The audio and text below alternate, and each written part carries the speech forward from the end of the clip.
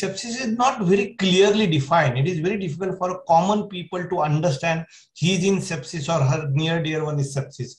Every infection not necessarily should be sepsis, but sepsis is always the uh, dysregulated uh, human response or host response to the infection. So when you say sepsis, always there is infection. But when you say infection, there is not necessarily it is a sepsis.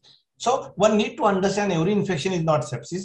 When sepsis happen, there are no clear signs and symptoms. Like in uh, immunocompromised patient, you will not get the fever most likely. You will not get the fever or the very classical signs of the uh, symptoms. But in immunocompetent patient, you will get high grade fever and this thing. But now, whether it is an infection or sepsis is a very thin line.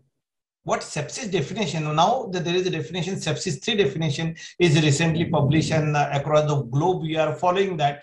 Whenever there is any organ involvement, suppose anybody has a fever, followed by he had a, a drowsy, he had a altered mentation, he has a drop in urine output, or he's a breathless, or he has a, a hypotension. So there is a when there is a, a, organ involvement with the infection, it is likely to be sepsis. Then he needs that. So unfortunately, there are no warranty signs or there is no clear-cut awareness about these signs, and that is delaying. If you see the statistics, statistics says that every hour delay in receiving the initial antibiotic or antiviral, you can landed with the increased mortality of 7.8% per hour. Infection can present with the, some source like uh, there is a wound on uh, your uh, diabetic uh, foot or uh, suspecting the cough, breathlessness, you can suspect the pneumonia. But when there is an organ involvement that altered level of augmentation or dropping urine output or there is a, a, jaundice you can observe from the outside or there is a, a respiratory failure